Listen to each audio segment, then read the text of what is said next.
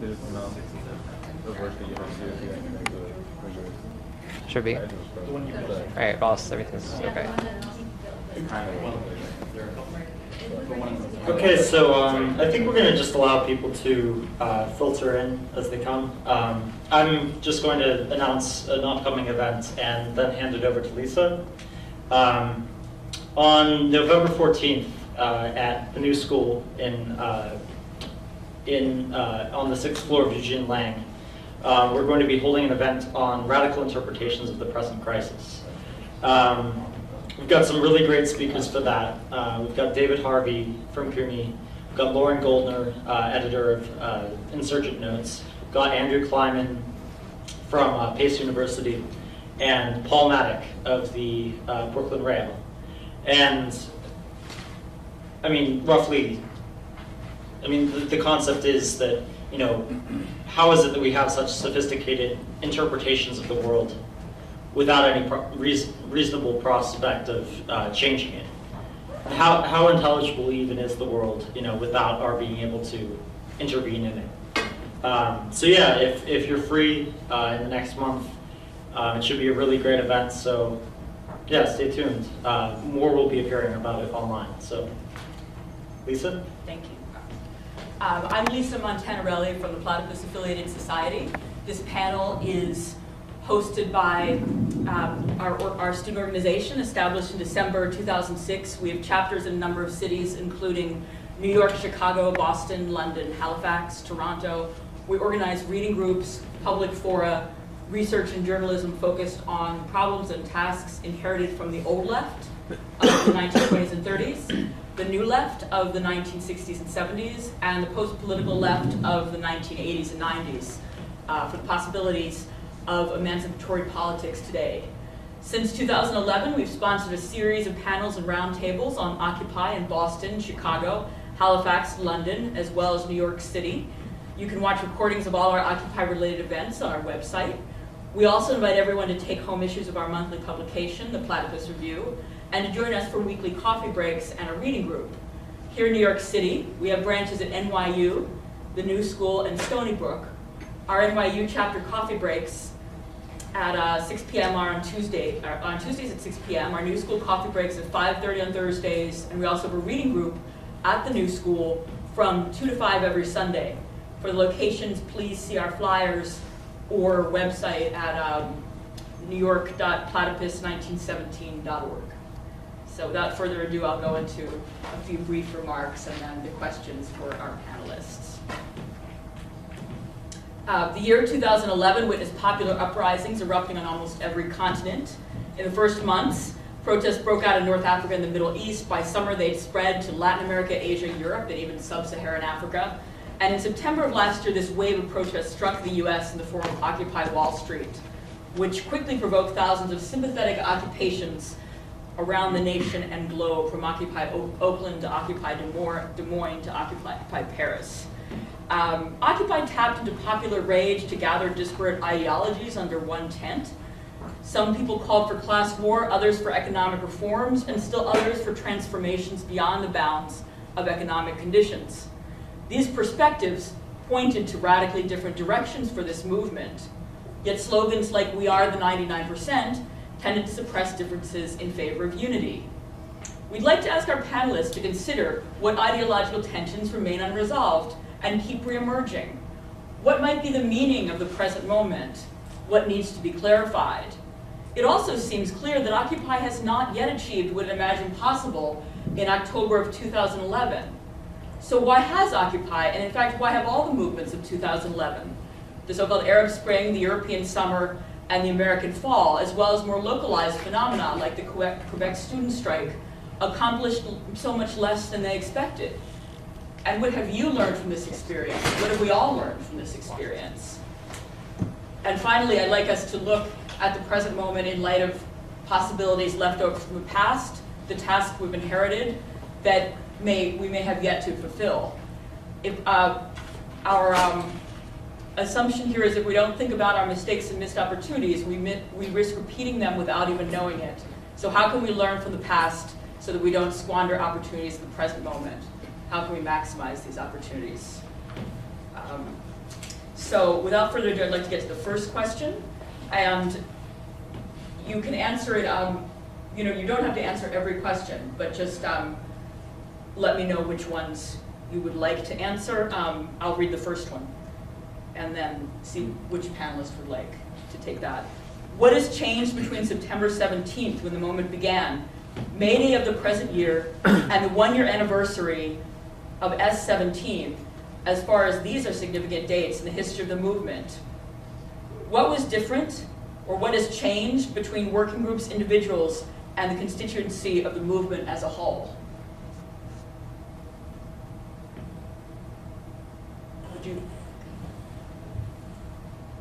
Well, I think that, I think that we can learn a lot by looking at what happened outside the movement during this time, um, as a reflection of what happened in it. Um, last fall, you had, you had, um, Troy Davis. I think that incited a lot of rage around the country. You had, um, the threat of SOPA and PIPA a month later.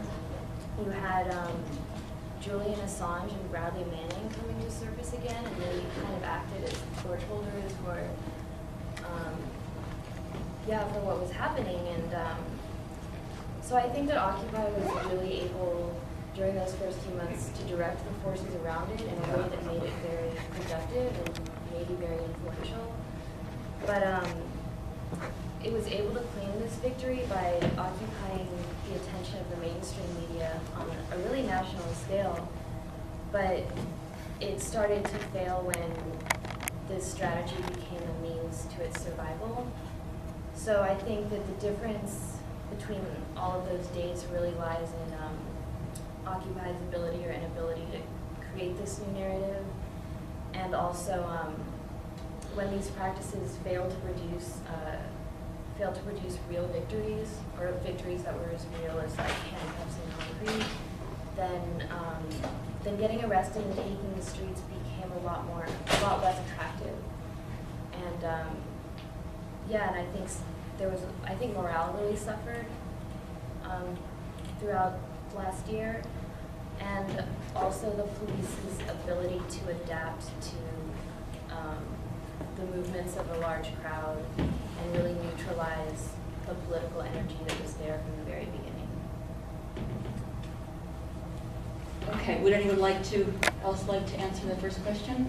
Talk into the mic a bit. Okay. For everyone. Yes. Um, okay, Fritz? Yeah. Um, so, uh, before Occupy, uh, New York and America in general had a very vibrant civil society. Uh, to relate this to Tahrir Square uh, in Egypt and elsewhere in the Arab world, our dictatorships made it so that the only civil society that was possible were uh, organized around mosques, uh, which is why the big days of action were always on Fridays. Um, so in Arab Spring, it more took on this dimension of what could we do that we could not do before.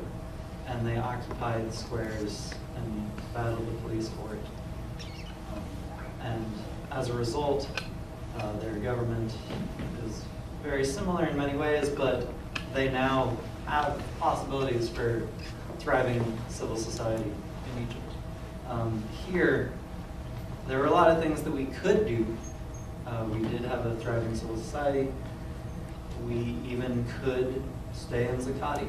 We were allowed to stay in Zuccotti for as long as uh, the company that owned it allowed us to. And when they said no more, then we were uh, violently thrown out of Zuccotti. So I think right now, what is obviously different is that there's no more occupation.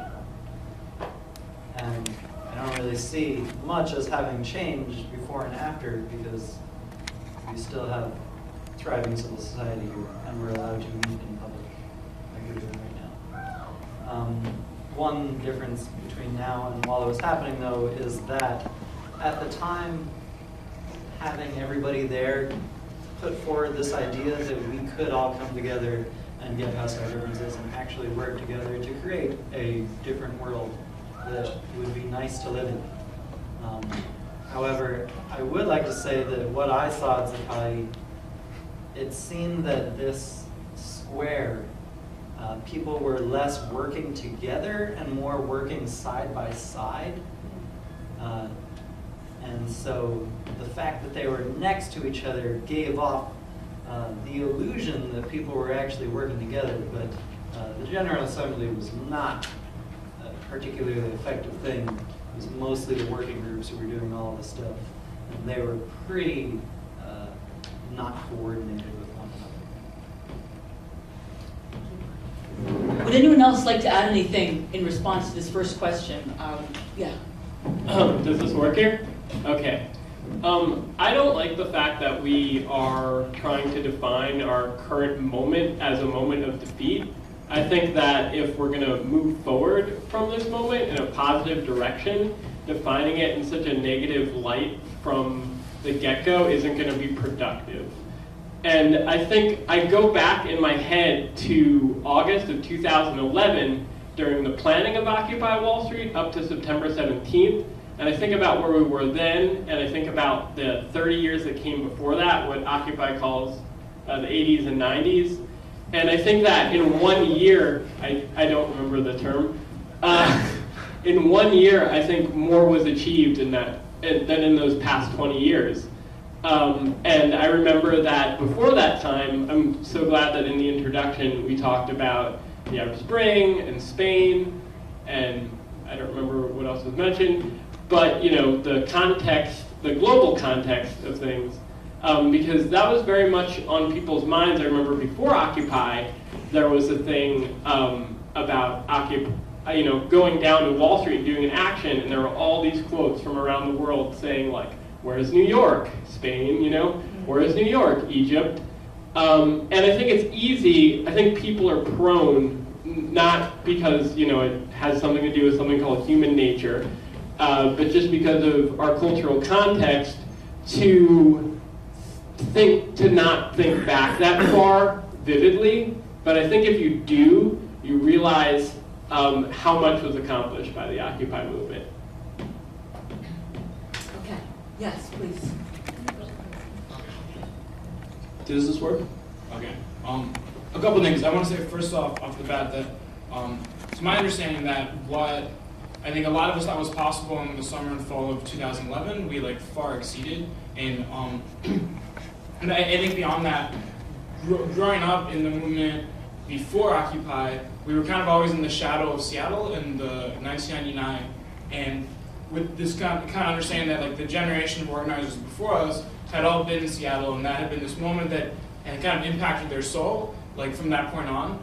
Um, and I think that one thing that Occupy has offered is that in, in a certain way it's kind of trained or inspired this generation of organizers. I think many of whom will be around for a long time, and that everything that they do is going to have the imprint of Zuccotti Park on, in it, or like the spirit of Occupy in it. Um, and and I, I don't think that can be understated. I think that's like a very important thing that's come out of this. Um, but one other thing about what's what's changed since over the past year is that um, and initially, like with the 99% slogan and all that, Occupy was this kind of like ambiguous coalition of like many different social forces. And I, think in certain ways we're seeing the breakdown of that. Um, and I, I, think the most important or like evident aspect of that is, do people know about the grand jury resistors in Seattle right now? Um, so not, not so much. So so right now um, in Seattle, the FBI is in the grand jury to investigate anarchist involvement with the Occupy movement. Um, it's ostensibly in relation to some like kind of petty vandalism that happened on May Day in Seattle, but it was actually convened several months before May Day. Um, and they've essentially been going around the Northwest, Olympia and Portland in particular, kicking in people's doors at four in the morning, arresting them, subpoenaing them, and then putting in a situation where at a grand jury you either testify um, with information about your friends that's going to result in putting them in prison, or you don't, and then you get put in prison, in this case for up to a year and a half. So there's three people that are right now being held, at least two of them are in solitary confinement, um, potentially into like March of 2014, simply for their political beliefs. Like in, in the search warrants, it listed like having black clothing, anarchist literature, things of that nature. And it's really and it's striking to me that all of these kind of like institutional aspects of the left and um, kind of liberal groups that had spent the past year showing how down they were with Occupy Wall Street and kind of like I, I think have kind of like profited a lot from the momentum it like particularly major unions and nonprofit groups, but also like Ben and Jerry's and Chris Hedges and whatever. I, I, I think it's really telling that not a single one of them has made a statement condemning this when, you know, just like on May Day, all of them marched in the street with us and were, you know, so enthusiastic about everything we were doing. And like, where are they now that we're getting our doors kicked in at four in the morning? Thank you, thank you. Victoria? Uh, I usually try and talk without a microphone, so I think I get a little weirded out by the microphone. So if that's if that's all right with For- everyone, for the I'll try recording. and Project well. Um, Uh, for I the reson- recorder, uh, just Oh, for the recording. Okay, got it. Um, so I do really resonate with everything that's been said before this, and I agree and disagree with um, some of the things that were said. Um, like Dave, I take myself back to August of 2011 and the meetings in preparation um, for the occupation of Wall Street and what I thought that was. Um, I, I immediately was reflecting on the call to action from Adbusters and the riots uh, in London. I had really preconceived notions of what I thought it was, um, and that had to do a lot with the personal constructs that I had built up for myself as a student living in New York, um, attending an institution but still having student debt, and not feeling like this was I guess I, everyone has referenced this idea of the moment and not and myself not really understanding what that was. And for me, all that was really shattered on September 17th when I came to the park and I didn't leave. Um, I think what's interesting to note about September 17th, May Day, and September 17th of this year are kind of um, structural differences. Um, it was mentioned in the question the kind of structural components like the working groups and individuals and how those things kind of undulated and changed between being exclusive and inclusive. And um, the truth is that there's been a world of difference. I mean, Occupy, as it as it stood in New York City in the park last year, was a small thing. Um, until the media blew it up, it was less than 300 people per night, and most of them were not from the city. To be honest, I felt like for a long time I was one of the only New Yorkers that stayed in the park. There were maybe like 10 to 20 others. Um, and then once the the mainstream media blackout had ended, there was this like um, this crazy resonance, like all all throughout the country and actually all throughout the world. But I think that what's changed is that um, I guess it is it is kind of an awakening of young organizers that are really trying to figure out their grounding, trying to learn from existing organizers, and I do really um, agree with what you just said. I I know the feeling of like having this like I wasn't there. I couldn't go to the, I was too young to go to like prior demonstrations, in Seattle, or any anything like that. I was like a middle schooler, so it's it was really not something that I could plug into. It was not something conceptually that I understood. And here, for the first time, was this forum, this open space where you could really get your hands in on something. You could say something. You could make something. Um, I think between uh, then and now, things have become much more conceptual um, as far as um, demands and kind of things that we're aiming towards. I think everything has become more conceptual, and I think that that's something highlighted in some of the upcoming questions. But um, I, I agree with Dave and that I think that there's more to look forward to, not necessarily under the Occupy brand. Okay, great, thanks, everyone. I'm glad that you, um, you brought up Seattle, um, 1999, because our next question is, would you character- characterize Occupy and its offshoots as anti-capitalist?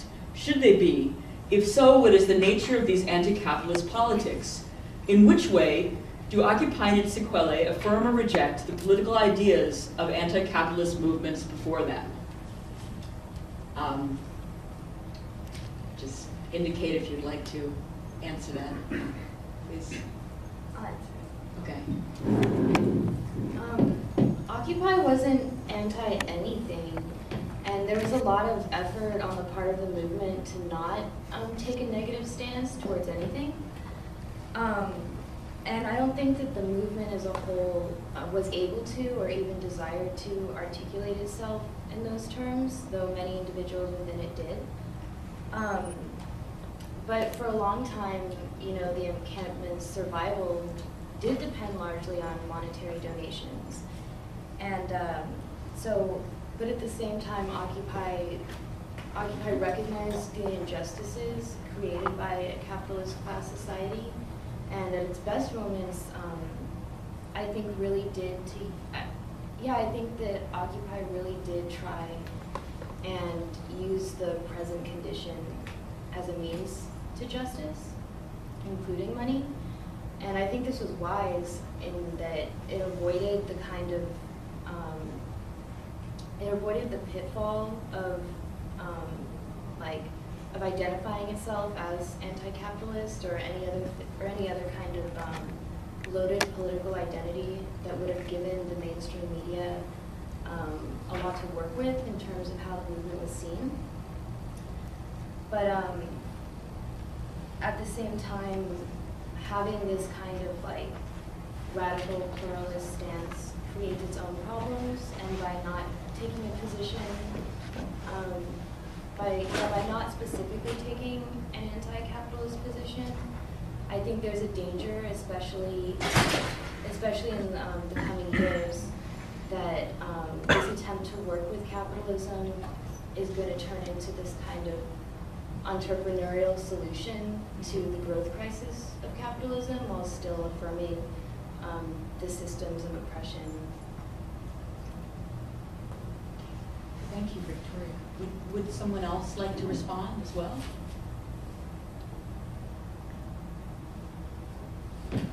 Um, I, I don't know. I mean, I think if you look at Occupy Wall Street, we can just look at the name Occupy Wall Street and its target and what it was doing, and other things sort of fit under that umbrella. Um, it definitely looked different and sounded different than maybe movements before it that called itself anti-capitalist. But I think it was definitely against financial capitalism and corporate capitalism. I think at least there was that that in the air, while as maybe it was more plural and open to people who didn't consider themselves those things. I think just by it being Occupy Wall Street, it was against financial capitalism. Um, and uh, whether that's against capitalism as an ideal or an idea, um, I think it's a different question. If you read Marx, then he sort of believes that capitalism left to its own devices will become the current phase of capitalism we have now. Firms will get larger and larger, and things will become more financialized. Um, so does uh, does that make it anti-capitalist? I think that's an that's that's that's like a sort of a different question. Um, but uh, I think it, it was able to grasp onto the part of the populace that always has this anti-capitalist zeitgeist, but doesn't really put it in those terms in a, in a really large way, especially in the way that it brought class back into the conscious of, of people in this country. And, and so much as it wasn't in people around the world, maybe it put it back into their minds as well. Okay. Thanks, Dave. Um, anyone else responding to question number two about um, the anti-capitalism, if, if there is, if, if Occupy could be characterized as anti-capitalist in its relation to previous anti-capitalist movements? Fritz. Thank you, thank you. Um, so I agree with Dave. Uh, I think that Occupy Wall Street was pretty blatantly uh, anti-financial bourgeoisie, uh, which is kind of the main group in charge of our country right now. And I think it was a coalition of a bunch of different groups that are against this, like uh, the anarchists, socialists, communists, uh, progressive liberals, as well as Ron Paul liberals. Um, and I think that uh, the normal progressive liberal, very into unions and a sane capitalism. Uh, Ron Paul, kind of into an insane capitalism. Um, socialists and communists, kind of usually into state capitalism. Um, I thought that actually uh, the anarchists were the group who, more than anybody, were actually truly uh, anti-capitalist in their ideas. Um, but I think it's important to recognize that capitalism is not the only form of oppression, nor do I think it takes on, you know, some sort of uh, special nature that trumps all other forms of oppression. I think that racism, sexism, uh, oppression of children, students, first, third world relations are just as important as capitalism and existed long before capitalism. Um, so I would say that what I saw of the anarchists and how they uh, organized during Occupy Wall Street, I thought um, it was not only oppressive in its own right, uh, but I thought it was generally so inefficient that it kind of made capitalism and our modern society look pretty good and effective. Yeah, that's all I have to say. Okay, would, um, would you like to respond to the question? Uh, yeah. Um, again, I, being too young to have really um, been involved in like anti-capitalist movements in the past, I've only been able to kind of vicariously live through them via people that I now know and been able to talk to about their experiences or video or theory that's come out of it. Um, and so in some ways that's kind of a detached way of approaching it, but um, I think I mean, the people that I that I met in in um, August of last year um, largely did consider themselves anarchists and anti-capitalists.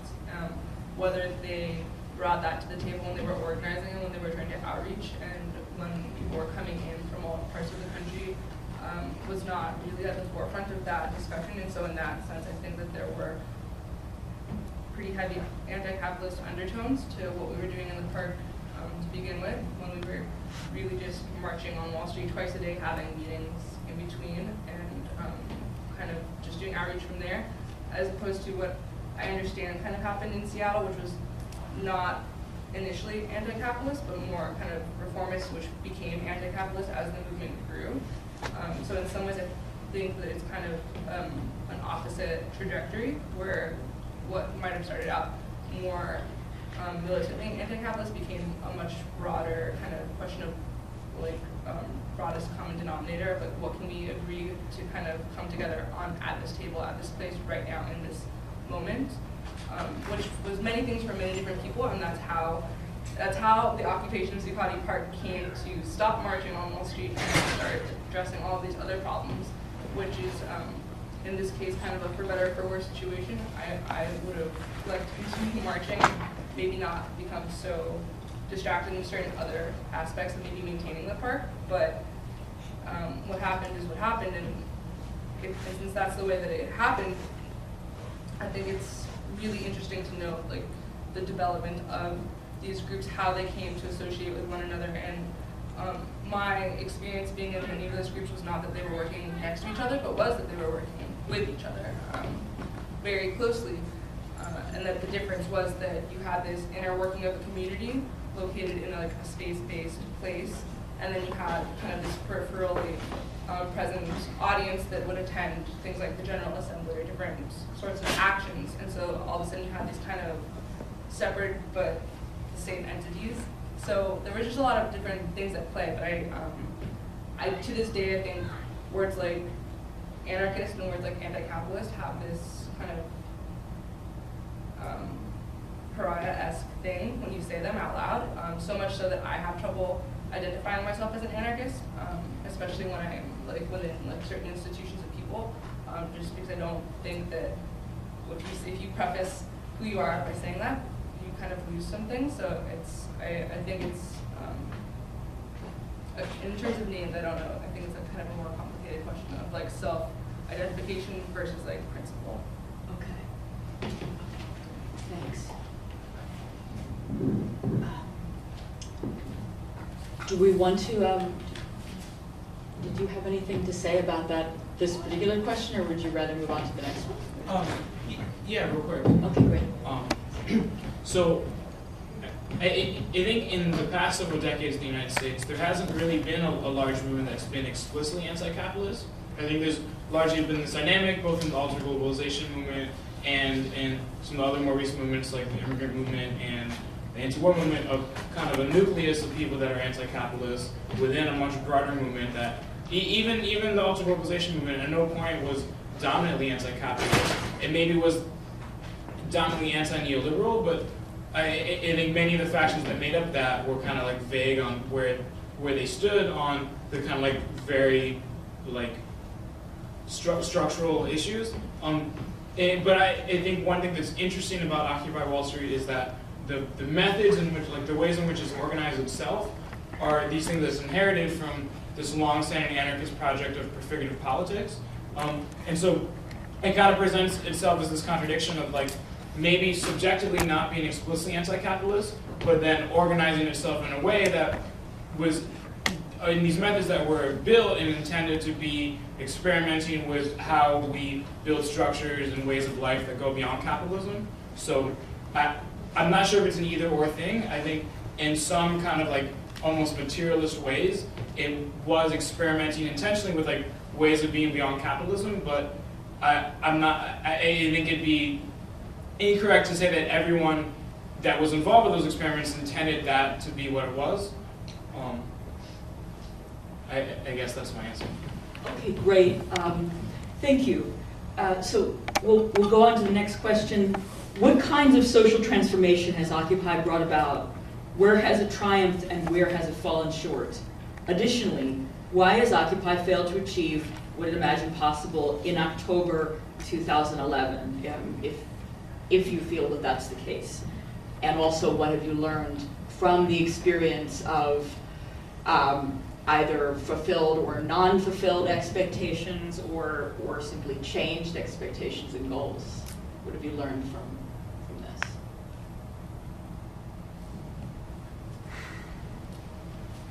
Um, I'll- Um, I think I can segue from that last question. Um,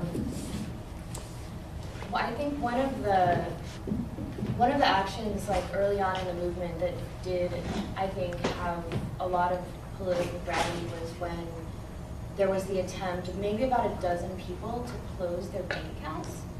Um, and this was during, um, th- this was like during larger marches, but the reaction of like twelve people closing their Citibank accounts was met with, um, it was taken very seriously. And while there was, um, like a Move Your Money campaign floating around, I think that, um, you know, Occupy Wall Street did a lot um, in those early weeks to recognize the financial crisis of 2008 as a crime that somebody was blamed, that somebody should be blamed for, as opposed to just blaming, oh, you know, the market failed. Um, and I think if there had been a lot more effort and a lot more intensity to take responsibility to for um, where what bank you use, or if there had been a lot more behind um, supporting uh, supporting uh, smaller banks or credit unions, then there might have been um, there might have been some kind of social transformation. But there was a lot of um, you know social transformation happens on on a very small level, and I think that there was a huge separation in Occupy between ideology and practice. For example, you know, we may be protesting large corporations, but we're still getting coffee every morning from McDonald's. Like we're st- we still use the Bank of America ATM. Um, and so I think a lot of it was just focus and intensity towards one issue that everybody, that perhaps everybody um, shared or could have gotten behind.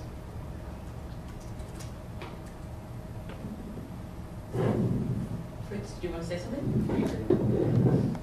Um, so, uh, on the subject of has it created social change, fundamental social change, I think if you just go down the list, talk about uh, different modes of oppression of uh, working class women, uh, race, third world children, students, I think obviously all of these antagonisms in our society still exist a year later.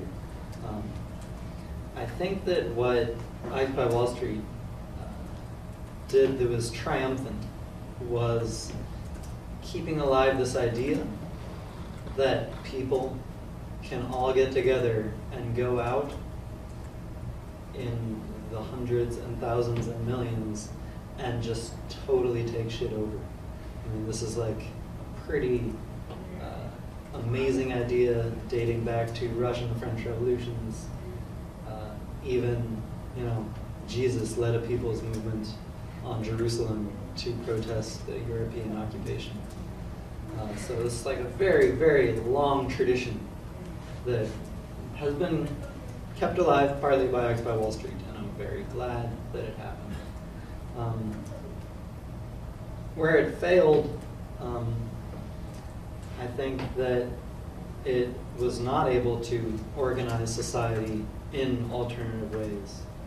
I know whenever I was at a meeting, I was dragging on, and people would just be like, well, you know, it's a messy process, it's heart wrenching, and it can be boring. And the other day, I, uh, I'm taking part in Brooklyn's, uh, it's happening all over the city this year, uh, but there's a participatory budgeting thing. It's a movement that started in Porto Alegre in Brazil uh, 20 years ago, and over a thousand cities in the world are doing it right now, where people get together, put forward ideas of what to do with the public's money, and then they vote. One person, one vote. Majority wins on what they're going to do. And I went to this meeting, and it was not messy. It was like really efficient. It was really quick. It was really fun. It was not boring. Just went, got stuff done in about an hour and a half, and then that was it. Um, and I also want to say one more thing is that uh, this idea that Occupy has gotten so much done. I mean, we do have a vibrant civil society, and I think that this urban revolution puts forth the idea that civil society can take over instead of these little cliques that usually use traditional warfare methods um, to divide people. And we already have a vibrant civil society. There are groups that combat domestic violence every single day uh, through legal means. There's just a documentary on PBS about the interrupters in Chicago who go and combat gang violence. It's just former gang members. They just keep their ears to the streets. Whenever they hear someone going down, they just get in between it and don't let it happen. I mean, we have unions. We have a lot of stuff, and people are doing a whole lot.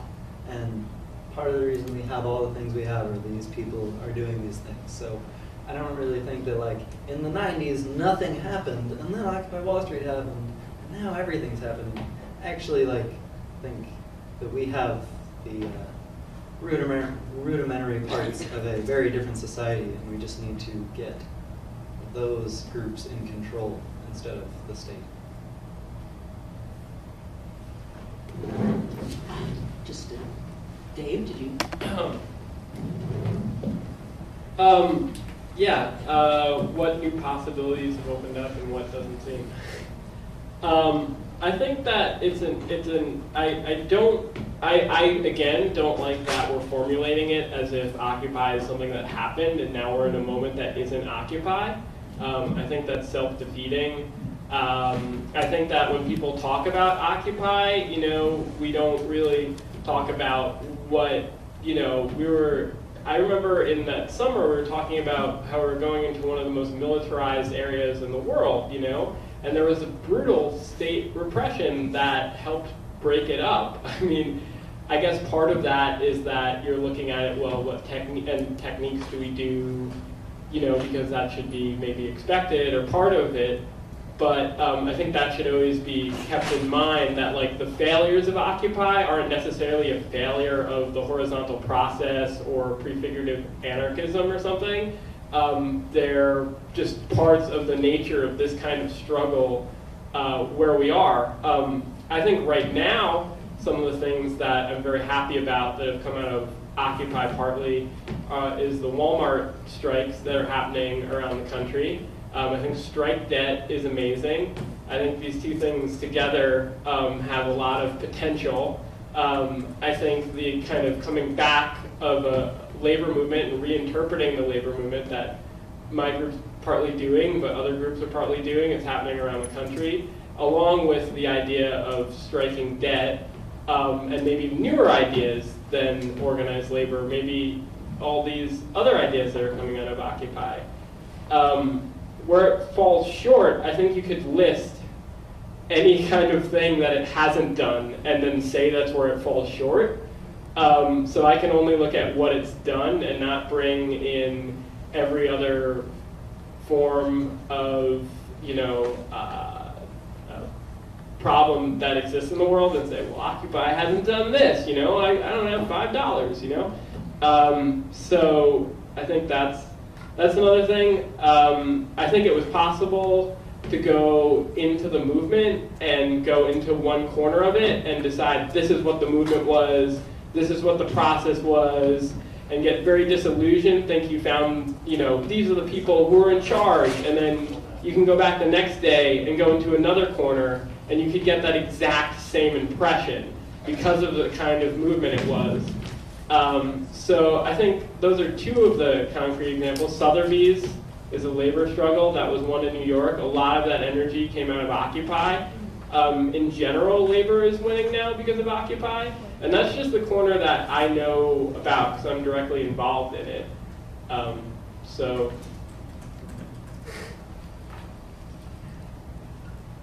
Um, I think I'll speak first, I guess, to um, personal transformations before I speak to the larger social transformations that I um, experienced or witnessed. Um, I'll say that I did live in the park with the exception of two days. One was after I was arrested, and one was um, I, I don't even remember what it was. I just know there was another day that I wasn't there. Um, and being within it, and also being a part of the larger global movement, I worked um, a lot with the streaming group Global Revolution, and being kind of acutely aware of what was really going on, not just in the park, but domestically and then internationally. Um, I felt like I had a pretty good grip on things. Uh, little did I know how kind of out of touch I was until um, the morning after the raid, uh, and I had left the park because I wasn't arrested, but I was kind of walking aimlessly and I hadn't yet withdrawn from school, and I was like, this is, it's already November, I think, like, this is kind of crazy, so I walked, I walked to school, and it was like seven AM, I waited until, um, my administration kind of opened up and I was able to like talk to them, and then I remember having to meet someone in Midtown, um, and this was probably the first time in the two two and a half months that I had like gone past 14th Street, and it was this crazy kind of culture shock moment where it's like the rest of the city is um, proceeding with their day as normal. They don't know or care precisely as to what just happened. I had this moment where I was kind of like, people must know I'm like an occupier, like I just this thing just happening to me, and like because I felt like I somehow was it, like I'm imbuing this like thing, and um, that was kind of this strange collapsing moment for me where I uh, was able to see what had been going on, you know, less than a mile away from us the whole time that we were at the park, and that was something that being so far down in the corner of Manhattan, I um, didn't see, and by not being able to go back to Brooklyn, I think in the back of my head, I did always know that the people that I knew and worked with before this movement that couldn't be at the park or couldn't be at every action were still doing the things that they were doing. And so that was kind of a really strange micro macro look for me because I, uh, at the same time that I knew that, that no one above 14th Street cared that the park had been raided, I also knew that over 100,000 people were watching the streams at that very moment. So it's this kind of um, moment where you really understand that people are going to do with their time what they feel is most important. And what I think that can say as far as social transformation on a larger scale is that there, there has been, um, in, in many different ways, different kind of awakening moments that people talk about. For certain people, obviously not for everyone, that's not a blanket statement that can be issued about what Occupy has brought to the conversation, but it can be brought uh, into the conversation as far as those people who were maybe half awake or wanting to have something broader to look into. Um, I reflect really quickly now on global noise, if anyone took part in that. It was like on the 13th to 15th. And I knew a lot of people that organized that in other countries. And um, they're kind of reflecting on that kind of as a failure because there wasn't this giant outreach. And they're kind of figuring out what that means. And I asked my friend who organized it in Spain why he thought it was a failure. There was actually still tons of people that came out. And they just said, you know, it didn't go quite the way they thought. They're just going to keep going. And so as far as social transformation, I think people's willingness to continue going and not, like Dave said, not see the movement as being like opened on like September 17th of last year and kind of closed at this point is a, a broader way of looking at it because there's no I don't think it was that Occupy is done per se, or that I know, I, and maybe we'll talk about this later, I've always seen Occupy as a tactic, not a movement. Um, and when I talk about the movement, I don't know quite what I'm referring to, but I'm, think that I'm talking about a broader global thing that's happening right now. Okay, thank you. So back in like 2006 to 2007, um, before he was this kind of like big movement celebrity, David Graeber was writing for this magazine called Rolling Thunder, which was put up in CrimethInc. I'm not sure if people are familiar with that, but he put out this really beautiful essay called "The Shock of Victory," where he essentially, and this was kind of like during this big malaise in the anti-war movement, where we weren't really sure how to go forward and like things were really falling apart. Um, and he he kind of explained that lots of times, if, historically, direct action movements tend to accomplish their medium-term goals way faster than anyone, especially them, thought was possible. Um, but because they accomplish their medium-term goals so quickly, they don't know how to move forward to accomplish their long, like long, long-term goals, and because of that, they're seen as a failure. And he gives all these different examples of it. Um, for instance, the alter globalization movement a lot of people in in the movement in the mid 90s and the late 90s or like in like around 1999 thought that like their their goals of trying to like bring down the Washington consensus and like open up space for like different projects beyond neoliberalism would take a decade or two if were even achievable at all and by the time that like that kind of cycle of struggles ended a couple years later they they had actually accomplished much more than anyone had thought was possible in the span of just a couple years and I, I think that that if you look historically at the like the, the functions of direct action movements like that, that is something that's like seems to be true over and over again. For instance, during the anti-war movement, I was involved with a struggle in Olympia, Washington, to called port militarization resistance, where we were trying to stop um, the use of our publicly owned port by the military to ship stuff to Iraq and Afghanistan. We thought this was gonna be like a five-year or like super long-term struggle, and within the course of a year, we had not only accomplished everything we thought was possible, like much, much more. But in all of these examples, because they accomplished these like things they thought weren't possible, they don't know how to move forward to accomplish these even longer term goals of like bringing down the state and capital. And I think with, with Occupy, um, if you think about what, what kind of the medium term goals for, for Occupy were, in a certain sense it was trying to transform the public discourse around the economy and around like kind of economic injustice and also proliferating these models of prefigurative politics and like different ways of being in the world. And I feel like if you ask anyone in the middle of 2011 if those would be possible, if, like I didn't think it was. Um, I thought it was so impossible that I didn't show up to Occupy Wall Street for a while, and I, I was very much like poo-pooing it. Um, and I, I think we need to be honest with ourselves that like what I think a lot of people on the left thought was impossible, absolutely, was accomplished in the span of a couple months. And just because we haven't then moved on to like taking down capitalism in the state doesn't negate the really real things that were transformed. And just in like, I guess like really specific examples, like dur- during the craziness of the fall and winter, like all of a sudden like my parents are posting articles by David Graeber on Facebook and my aunt who works at this tech company in the middle of New Jersey who like I'm not sure they identifies as leftist at all is every every week someone from her company is making runs to downtown Manhattan to deliver supplies. And I feel like in all these small ways that people that didn't even show up to the park, their life was trans- transformed while the broader way that the political discourse was transformed. And I think we're not really going to see the long-term effects of that for like several years down the line, but I, I think I think a lot a lot more has been accomplished than anyone really thought could have happened. Um, Okay, thank you very much. I'm, because I want to leave lots of time for Q&A, I'm actually going to combine the last two questions. And I also have been noticing, I mean, very, very clearly, um, one of the things that keeps coming up um, is the possibility of, uh, I mean, the Anarchist Project for Prefigurative politi Politics and sort of experimenting with ways of living that are somehow outside capitalism. And so, but also some of the other panelists have expressed some doubts about whether it's possible to really be outside capitalism. For instance, we have um, the reference to buying coffee in the morning at McDonald's and, and things like that. So um, in, in perhaps answering these two remaining questions, if you could I mean, if, if you want to, if you have a, have a stance on it, um, maybe also address whether or not you see it possible to be outside politics in some way or create some kind of pocket um, within a capitalist society that is not specifically capitalist. Um, I'll read the last two questions. How, if at all, has Occupy changed your political outlook? Has it modified the kinds of goals you hope to achieve through your activism?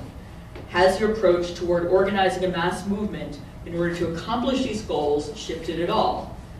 And also, what new possibilities has Occupy opened up that beforehand seemed impossible?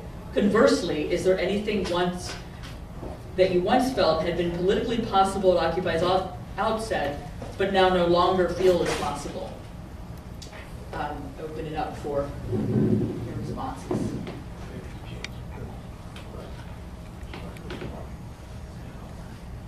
Um, Please go ahead and respond. Dave? Um, uh, well, before Occupy, I was reading Capital because it was the financial crisis, and I, you know, it seemed like there was nothing was happening, uh, and I was trying to understand capitalism. Uh, I feel like now, after Occupy, I'm more favorable to uh, anarchism in general than I was before Occupy. Um, I, I'm, I'm you know, I know how to organize workers now. I've been trained by my working group in the IWW. Um, before Occupy, I kind of thought that one way we could uh, fight corporate capitalism would be to unionize Walmarts and maybe collectivize some of them uh, across the country. Um, now, I still think that would be a good road to fight it, but I also am more open to understanding that there's not going to be one way to do things and that you know things are going to develop um, and in the way that they're going to develop and a lot of different ideas and a lot of different heads and opinions are going to be necessary. I do think that different people with different ideas with different opinions kind of rubbed together and talked in the park and i think that was one of the most powerful things about it. You had someone who liked trotsky you had someone who liked insurrection you had someone who liked unions you know and they were all talking. And i think that uh, one of the reasons that Occupy has slowed is because we don't have a way to do that. Um, so I guess my I've become more favorable to those things. Uh, so for me, that's one way of change. Also now, now I'm, I'm, I'm writing something where uh, I'm comparing. This is a lead into the second part of it. I'm comparing the pre- prefigurative anarchism to John Dewey's experimentalism. Um, and I, I, feel like action and things happening go back into thought, and then thought goes back into action, and there are these back and forths between them. Just to kind of address what we've been talking about, I've actually been writing about this because Ross, who's in the audience, uh, interviewed David Gra- Graeber. I can never say his name. Uh, about these questions, and Graeber said that, well, I don't believe that capitalism is a totality because Ross brings up the fact that capitalism is a totality, and Graeber, this is something I'm writing actually right now. Uh, Graeber disagrees, and he says that no, it's not a totality, so it was okay. You know, they could bring water bottles in and French fries or whatever because he thinks that's wrong. And so I kind of, in my writing, I'm go, I go back to Heraclitus and Parmenides. You know, sees Parmenides sees the world as a whole. Heraclitus sees the world as constantly changing, and Hegel kind of takes a little bit of both of them. I know this is getting like really abstract. Um, and uh, both Marx and Bakunin have different opinions on this. You know, Marx is more into the workers, and Bakunin is into the workers too, but likes the peasants. You know, um, thinks the peasants are cool. Uh, so I kind of argue that it's kind of like quantum physics. It matters which way you look at capitalism. If you you can look at parts of it where it looks like a totality, and then you can look at other parts of it where it looks like not a totality, and we interpret things through the metaphors that we're comfortable with. Um, so it matters if you've read a lot of anarchist stuff or if you've read a lot of Marxist stuff, which way you want to look at what capitalism is. And uh, I, I, got that from, from reading the Platypus review. It got my, my mind thinking, my, my mind working, but that's it.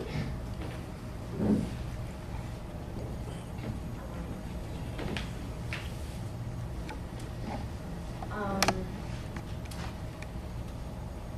you know, I think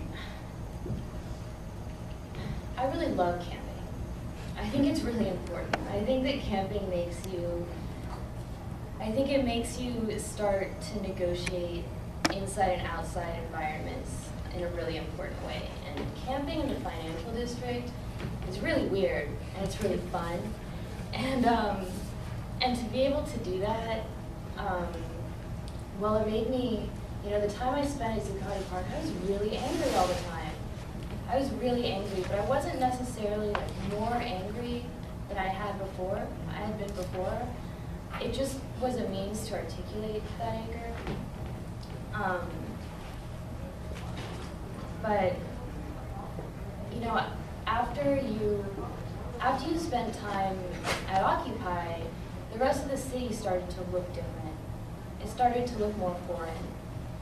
And and I think that's really important. I think that um, being at Occupy helped me articulate the political as a space um, with a lot of different forces at play. Um, it helped me look at look at everything differently. Like I started noticing the advertisements on the subway in a certain way. I started noticing the police barricades. I started noticing all of these different forces at play um, in the city that are determining where you walk and where you don't walk, um, what you imagine is possible and what you're not allowed to imagine. Um, but it also, but it also uh, made me question the means by which we are trying to achieve this democracy. Um, at Zuccotti Park, I realized that the very few people there were um, were looking closely. Um, like nobody was questioning, like why does this park look like a prison, or are just because we have the right to express ourselves, does that mean that we have the freedom to be heard, or um, where does this fight take place? Is it on the streets or is it somewhere else? Um, and is delegating power to the majority really a good idea in the long run? Um, but to, I guess to go back to talk about political possibility, I think if anything, Occupy was a rupture. It was the result of pressure building up under a membrane, and um, and it closed up very quickly. But that energy is still there, and there will be other ruptures in different forms. Um, I think we do have to take into account counter-revolution, a counter-revolution that has been going on for decades, where um, the role of the state becomes the management of a potential crisis. And I think that if Occupy or whatever it turns into is, is going to succeed or come close to anything that we could call success, then it's going to have to move very quickly. It's going to have to take different forms. Um, it's going to have to become aware of its environment in a way that it wasn't before.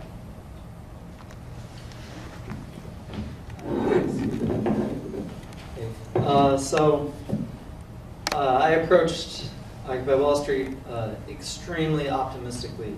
Um, I had recently gotten back from Nepal, and I was kind of into Mao and Che and all this rural guerrilla warfare.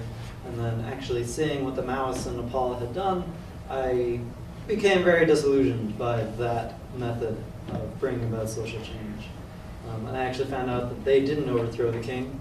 They had this weird thing called Jana Andolan II, or the People's Movement, where like the people just like took to the streets and took it over, and I was had no conception of what that really meant. Um, and then Tahrir Square happened, and it was just like, oh my god, I cannot believe that this is possible. Uh, so when it came to New York, I was really, really excited because I think that tactically this is like the most pertinent question in today's society, how to create that type of movement and make it work. Um, at Occupy Wall Street, I found out that uh, doublespeak about democracy is not limited to our rulers who say that they're being democratic um, when actually they're not. Um, I found uh, the overall mood amongst many people, particularly active in Occupy Wall Street, to be incredibly anti-democratic, very hostile to democracy, uh, very hostile to one person, one vote majority rules. It was always in the interest of protecting minorities like women and black and brown people who are actually not minorities. Um, they're both majorities. And I don't think that they need protection from uh, the white men who are generally ruling Occupy Wall Street movement. Um, political possibilities, though, I think that uh, it's going to happen again. Like, every single financial crisis that has ever happened in the history of this country has resulted in people doing massive demonstrations on Wall Street. Sometimes they take over the Brooklyn Bridge. This is not a new thing at all. Uh, there were Hoovervilles in Central Park after the Great Depression. They took over Central Park, which is pretty awesome. Um, so this is going to come back. Uh, I think what it did was it didn't make this thing possible. It clearly was possible already, but it did make it possible in the minds of this current generation. And I'm glad we got it out of the way, and we, you know, the next generation is gonna have to do it again. Hopefully, we can do it again. And I think that right now we need to start organizing in more democratic, participatory, non-oppressive ways, so that when it does come back, because it is going to come back, we're actually going to have something better to put in place of what we are trying to get rid of. So first, I'd kind of like to clarify that um, I think when discussing prefigured politics, uh, I'm not trying to indicate that I believe that there's it's possible to just create some space outside of capitalism. Um, but I also don't believe that capitalism is maybe a totality. Think more what I'm trying to get at. Um, so Ashanti Alston, this former Black Panther, when he talks about prefigured politics, he uses this kind of interesting Christian metaphor from the Bible, where the, the early Christians thought themselves as in this world but not of it. So kind of like one one foot in, in the world as it is in the empire that they were in, and one foot one foot in this other world that was like kind of a becoming world. And I, I think that really is how we should think and orient ourselves um, in, in this struggle. Another way of looking at it is if you look at kind of like the only really successful revolutions that we we kind of like have reported in the recent past or in modernity is the ones that kind of like force this transition to capital or capitalism or bourgeois society in the nation state. And it, it, I think if we look at them just as like the French Revolution or the American Revolution, we're missing really the processes that made them possible, which was this long process of building the institutions that laid the foundation for bourgeois society. So this long process of kind of building banks and city states and parliaments and all these different things that were the seeds that eventually erupted into this new world. Um, and so I think the question is like, what what does that look like? Like, what are the seeds that look like the world that we're trying to build, and what can we do to kind of like sow those seeds now? Um, and then I, I think Occupy kind of forces. I don't know. So um, I, I think what we can learn from Occupy is that, in a certain sense, our, all of our ideas about direct democracy and prefigured politics are both right and wrong, if that makes sense. Um, so when when these different occupies shot up all over the country, people immediately took to self-organizing and um, like people didn't just kind of like sit around. Like eh, people took on projects and did work and found ways to share the work and different things. So I, I feel like a lot a lot of what I guess in the anarchist movement people have been developing over these years and in small small environments and small projects with this kind of like hope that like this would be the nucleus of someday a mass movement actually in a certain way came true. Um, and it was really interesting to me because being in olympia during the port protests um, we at the time really sincerely believed that we were kind of this vanguard that like was going to inspire this mass direct action movement all over the country and that didn't happen. And part of it people kept telling us was that our ways of organizing were so culturally specific. We kept being told over and over again that you're never going to see a meeting of 100 people in the Midwest doing the twinkle fingers or trying to use consensus or anything like that. Mm-hmm. So to me, on the one hand, I think Occupy showed that like those of us kind of like groping in the dark for 10 years trying to keep this project of direct democracy alive weren't crazy. But I think on the other hand, it showed that everything we knew about direct democracy and prefigure politics was also wrong in the sense that these methods that we developed on like through like trying to run info shops and trying to coordinate direct action campaigns actually weren't expandable and in many ways fell apart when we tried to apply them to this huge mass movement and how to run a camp and stuff like that.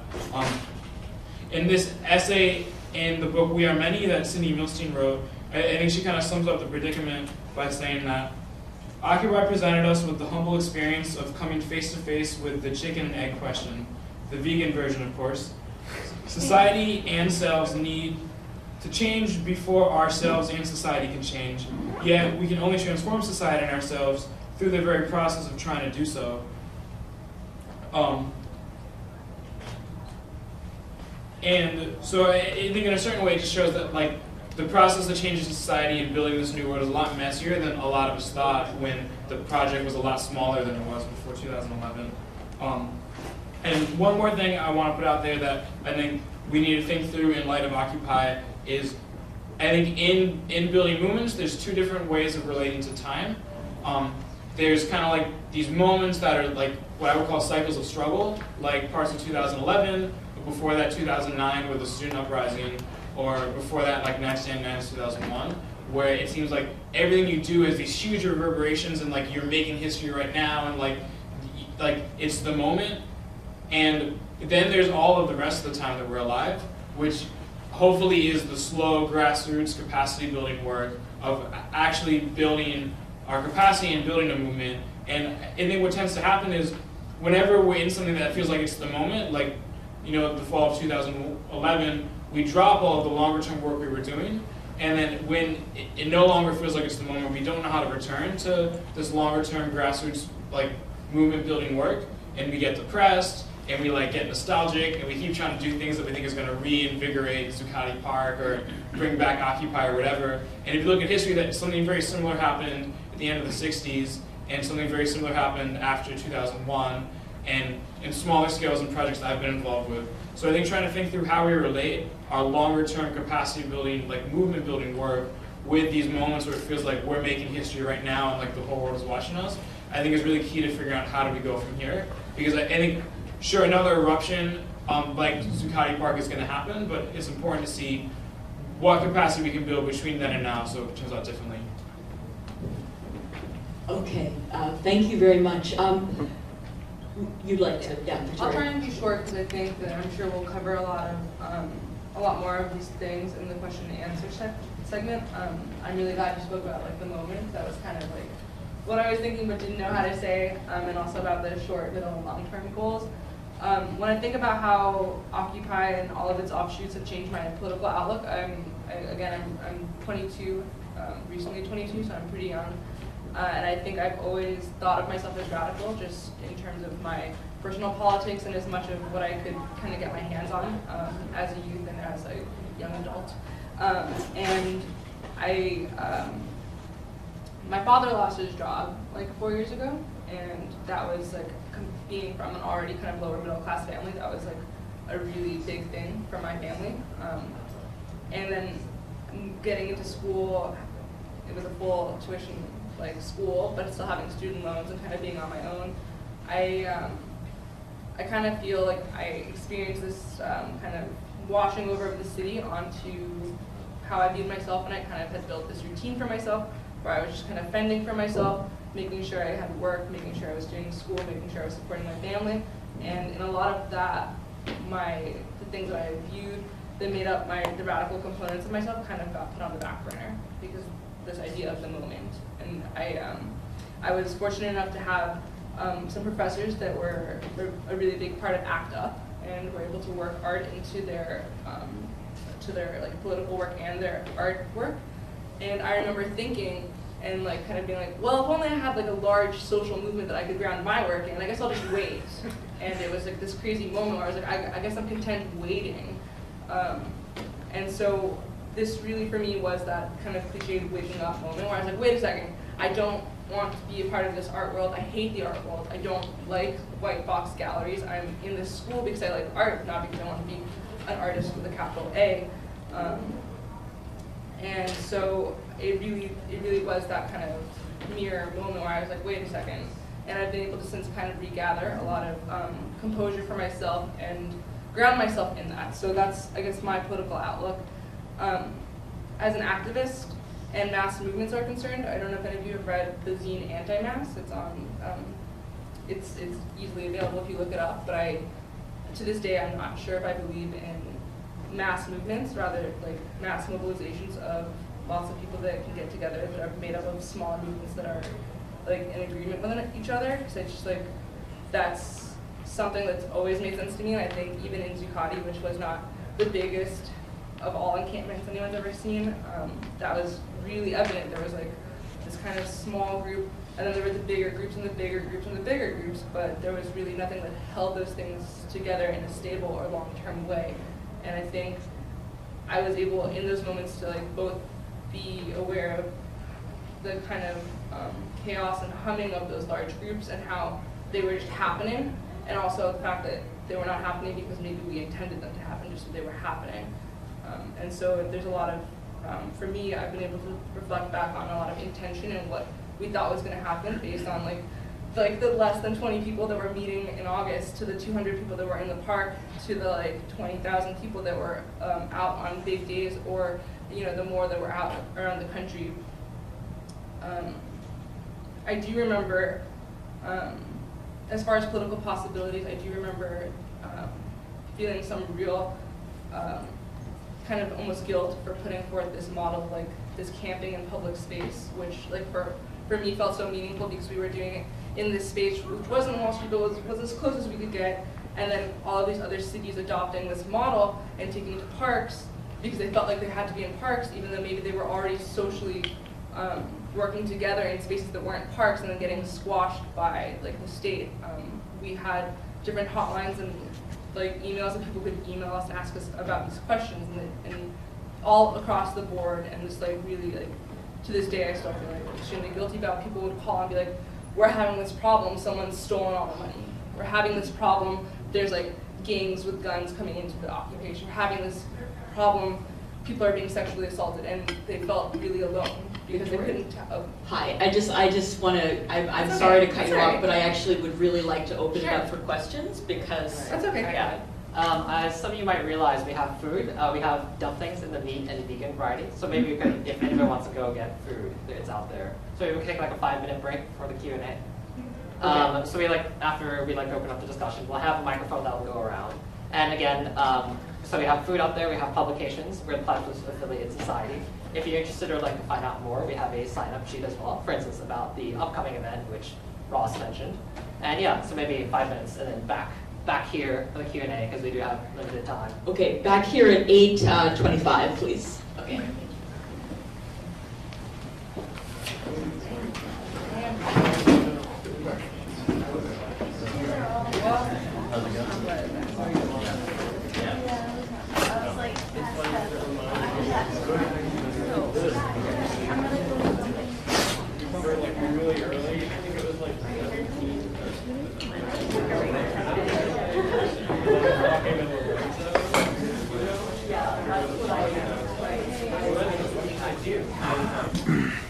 Hey Brian, is there a way to pause this or can you only stop it?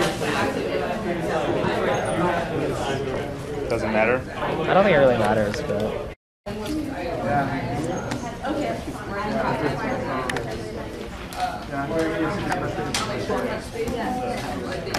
You work in five, what is it, Sunday week? the thought of like an activist storefront. Yeah, they have like coffee shops, you know, like, uh, yeah, like a coffee shop where you just talk about stuff. And it's like, what's it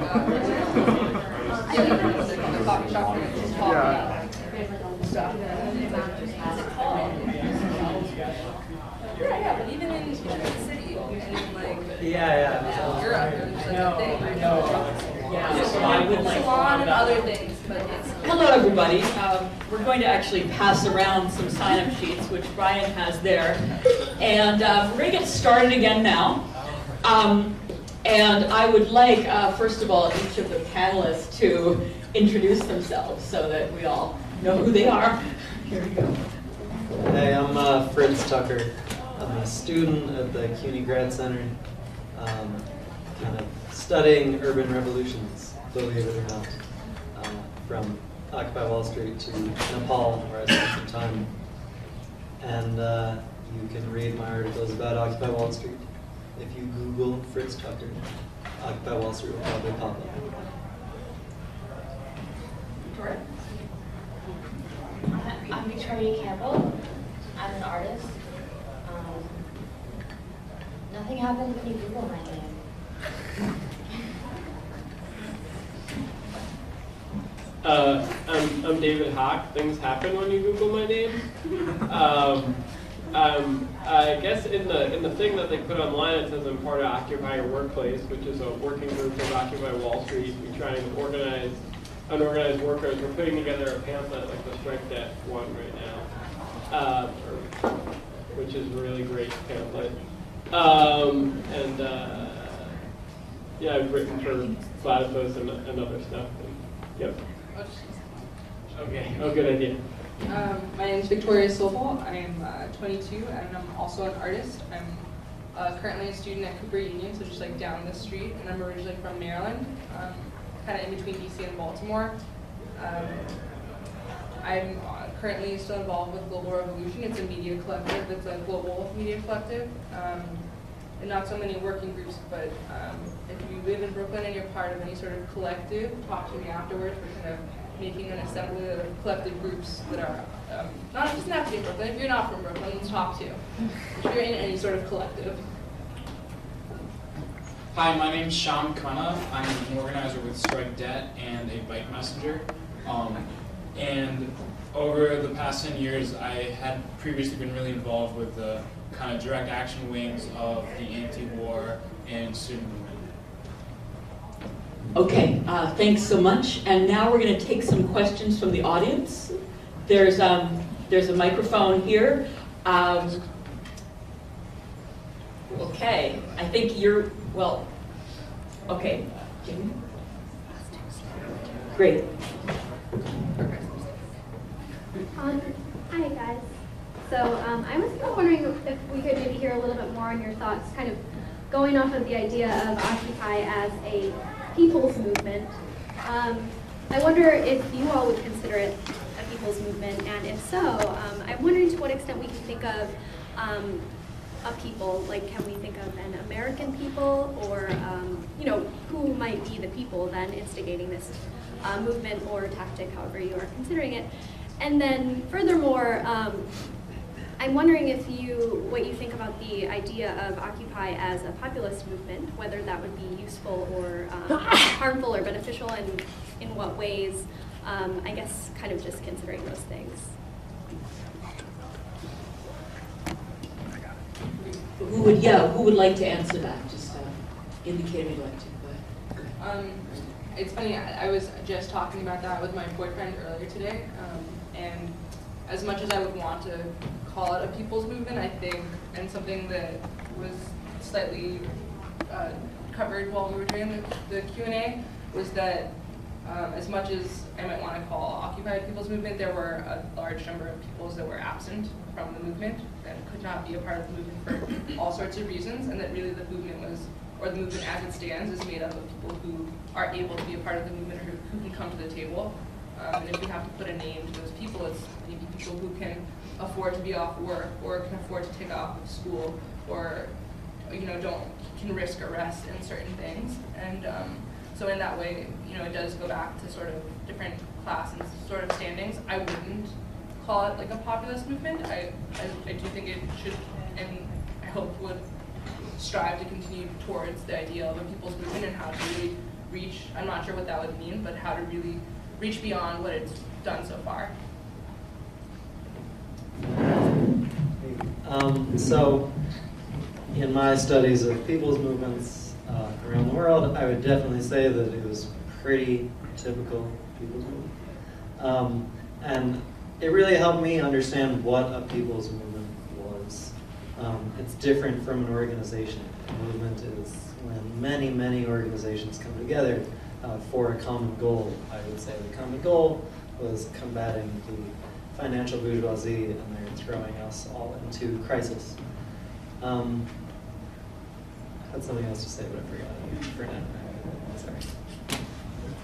I want to say I'm skeptical of the idea of the people or a people's movement. I, I think that historically there's been this kind of like messy, intertangled web thing of the people and the nation state and modernity and this idea of like the majority.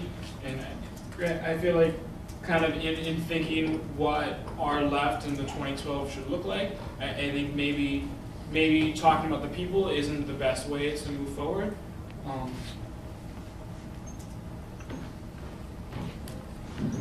Okay. Um, I agree. I'm equally skeptical of that term, and um, throughout the movement, I was, um, yeah, I was interested in in the premise of there being a 99 percent, um, how broad that was, and whether or not um, a people or even a class could be defined by just um, one's financial position. Like, I mean, especially in New York where nobody's poor but everybody's broke.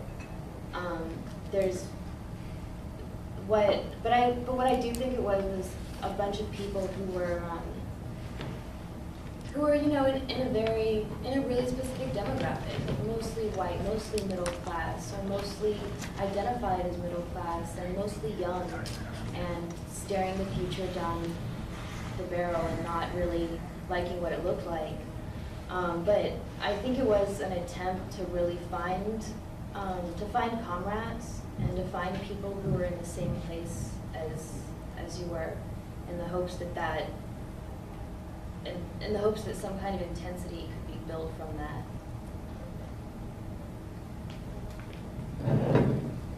Okay, um. Um, I guess like I, s- those are two separate questions. Like the the part that it's about a people's movement, and the part if it's a populist movement. Um, I actually think I differ in the way that I do like populist discourse. I think it has its limits. Obviously, you know, um, I do know people who feel alienated from it because of those limits. You know, they feel like there's cisgender privilege and racial privilege and gender privilege in it. Um, and but what I think is great about Occupy is that it, it was able to take populist rhetoric while not losing those critiques within it, even though obviously there I'm sure people had experiences where they felt like those critiques were lost within it. Um, I, also think that it obviously was a certain demographic of the population who could come into the park.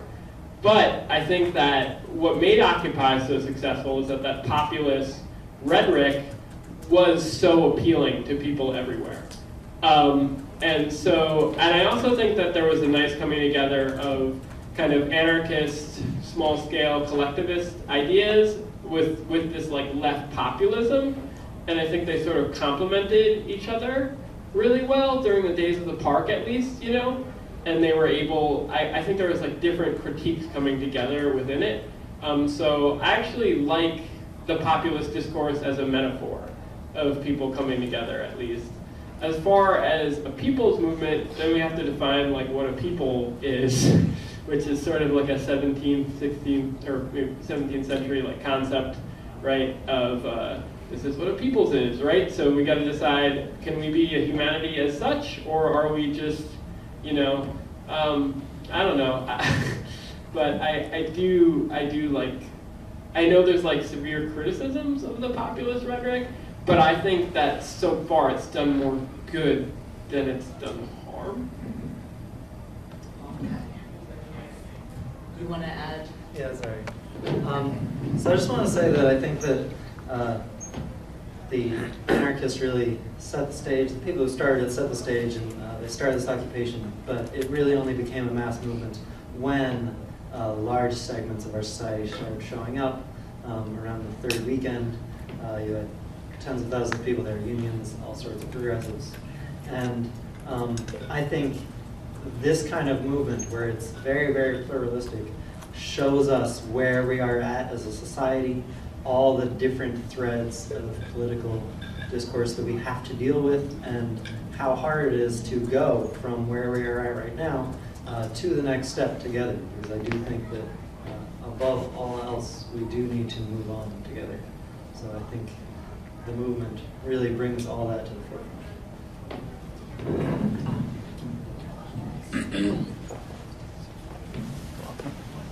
Um, no, actually, the front row. Um, all right, so my question is hopefully a fun one. Um, 'cause I ask myself it all the time. If you could go to the fir- back to the first, like, say within the first three weeks, and give yourself a message or try to change one thing in the park, what would it be? Would someone like to start with that? Victoria Sobel, do you want to? Or you, are you raising your Oh, I wasn't, but I. Were not. I You don't could have do to. it, I could do it. Um, I think, I, like you, I came into the park with a, a really, really heavy skepticism. I was so negative about Occupy coming into it, the, the weeks prior to it, I like rode by Tompkins Square on my bike and I was like looking at like the group meeting, I was like, it was it was bad. Um, but I um, what I saw in the first week. Um, all right, here's here it is, Kevin. Here it is. I would have told the person who had started the WePay and his name not to do that. Um, and that's how finance and, and taking in online crowdsourcing became this massive question and responsibility. And that was something that I worked with very personally in the first month. And it was something that like was not on people's minds and then was the only thing people could talk about. Um, so I would have told him the day I met him in the kitchen to close that and that we could just keep dumpstering food. Okay, uh, someone else? I guess if I, like, I guess if I could go back, I would try and like, I mean, I would tell myself to stop taking things so seriously and maybe attempt to start a coup or at least uh, like a radical extremist counter-revolution that just played freeze tag in the streets. That I, I would have shown up. Um, it, it, it took me almost a month of like Occupy happening before I was even sure if I identified with it or not. And part of that is just like the the years before Occupy, like being on the radical left was very very depressing. Um, just kind of seemed like all of the projects that we had like tried really hard to build had fallen apart. And there was a time, especially in New York, and then also where I was mostly in the Northwest, where like a lot of radicals were like like people hated each other so much. There was all these divisions that it was really like it was really hard to still want to be part of the movement. And especially when, when Occupy was starting, I, I was kind of like it. It seemed to me almost like naive that in in Egypt there was this decade of building um, building capacity for Tahrir Square with um, the the different networks that made that possible. And it, it seemed like we were kind of just like trying to replicate this tactic without looking at the context that that happened in. Um, and so I, I guess I guess if I could have gone back, I would have told myself to not be so cynical. And I feel I felt really jealous during the, the first like six months of Occupy of all these people that this was their first foray into the radical left because they're so optimistic and so excited about everything. And I felt like I, even to this day, I'm still kind of like the person's like, calm down, you guys, it's gonna get really bad. Like, um, just because before Occupy, being on the left was like a really trying and depressing thing, and um, it, it going through that over and over again, it gets really hard to get your hopes up. Okay. Fritz? Um, so I would say that uh, by far the number one issue uh, that I felt became more and more important every single day uh, was having a democratic system in which the majority ruled. I think that the number one impediment for getting things done and getting the right things done was the uh, consensus method uh, or the modified consensus of having 90% of people have to agree on something. It's really not hard math, but if 90% of people have to agree on something to get done, that means 11% of people can stop things from getting done. And that is dictatorship of the minority, if you ask me. Um, democracy is the logical end to dialogue. Not everyone gets their way all the time, but things get done. It gets done together, which is very important. And I would say that I trust people. Most of the time, the right thing gets done. Uh, my workplace organized, and uh, while this was all happening, and I was very adamant that we do a majority rules thing, uh, we ended up doing that. Uh, the only three things we actually voted on, um, I was very adamant about my positions. Um, I lost, my position lost all three of the votes, uh, but I respected the democratic process, went along with it, and I later agreed that it was actually the right thing to do. Um, I was not in the right. The majority wasn't right. Okay, uh, does anyone else have some, have anything to say about this question or we I think we, we're ready for another question. Um, And, yeah, so I'm gonna wait.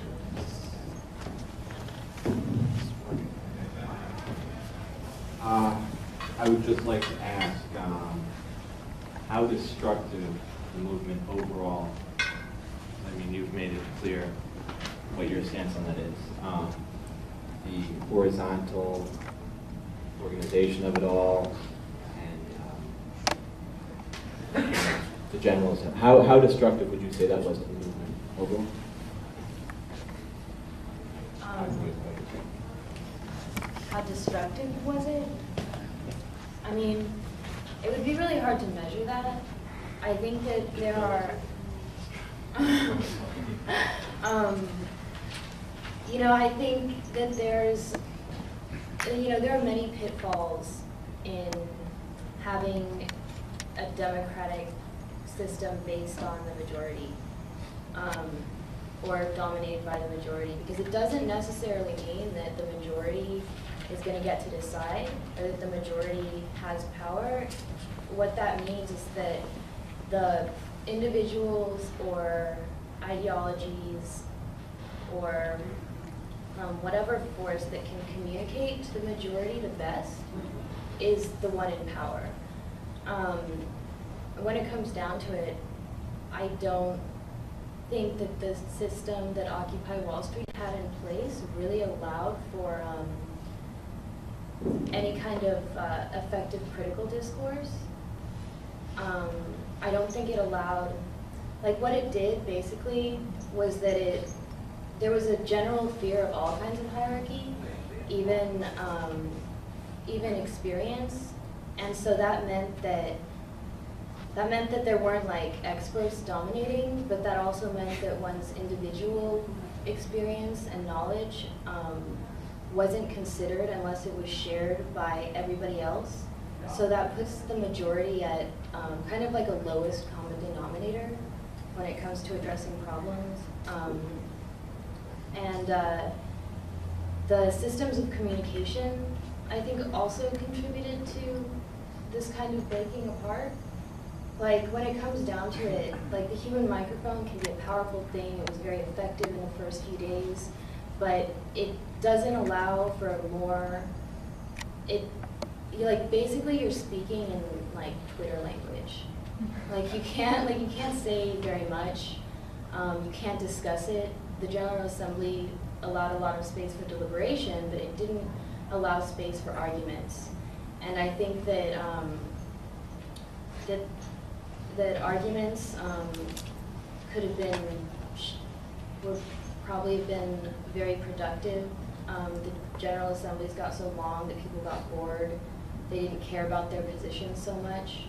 And so um, I think that, yeah, I, I think that the dictatorship of the majority did contribute to this destruction. I don't know how fast or at what point it did, um, or how you could the, yeah, like me, I think the ways in which it did are, are very specific and not inherent to this process, but certainly come along with it.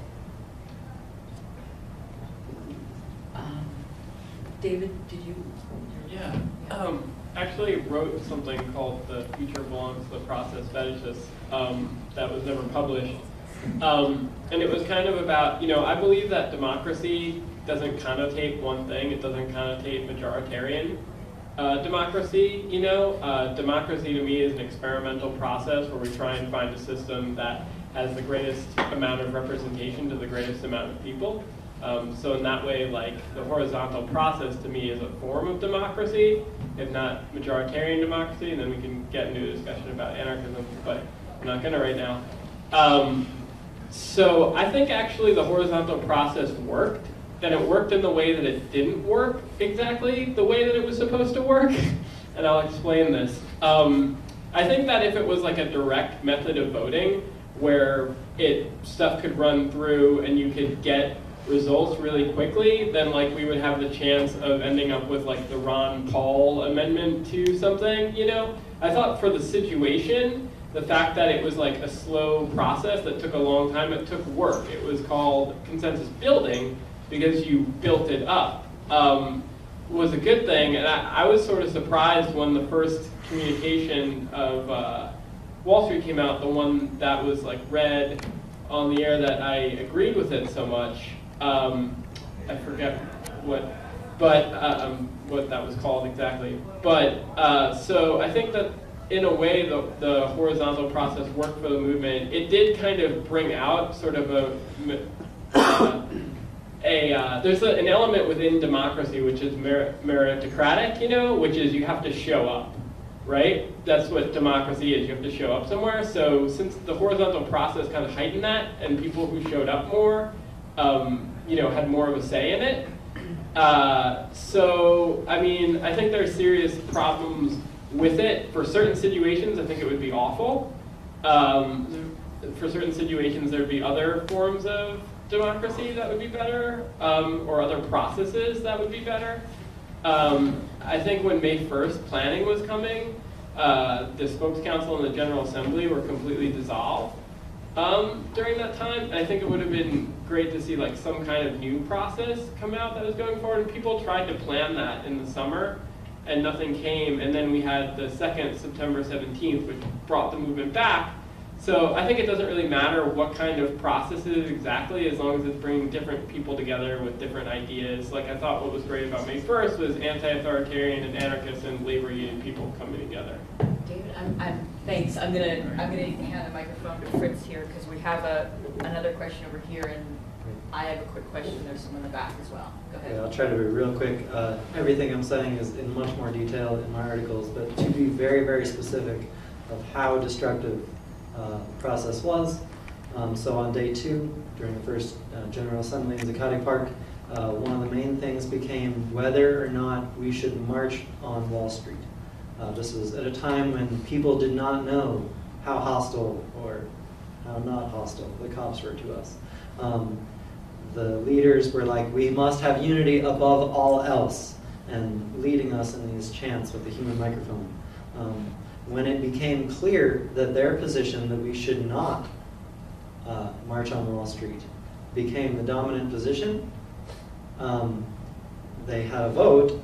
They lost the vote, but right before they were going to lose the vote, they were like, just so everybody knows, we are all autonomous individuals and we can do whatever we want. So, so much for unity. Um, on the other hand, when the General Assembly became totally bureaucratized and just was totally falling apart, they came up with the spokes council, uh, who was less participatory and less democratic. Um, in order to push through the idea of the spokes council, which was not popular, it lost four votes before it finally got pushed through.